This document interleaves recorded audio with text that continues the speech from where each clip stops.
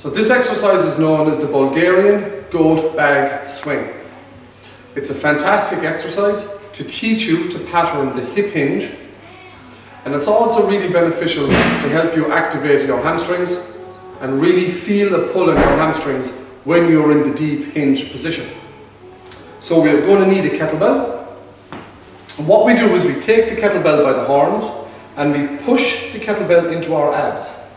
And it's that push into our abs that's going to help us to actually feel that deep hinge, feel that pull on the hamstrings. And once we come from our deep hinge position, we're going to extend our hips and squeeze our glutes. Once the hips come into extension, we squeeze our glutes tight.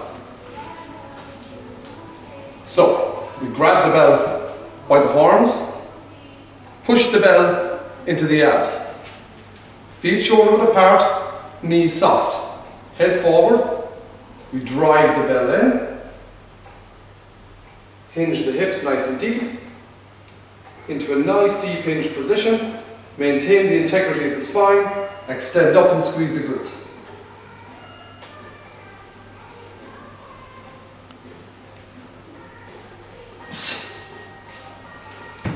The breath is inhale back, exhale up. It's a really good prep exercise for your on-ramping circuits. That's called the goat bag swing.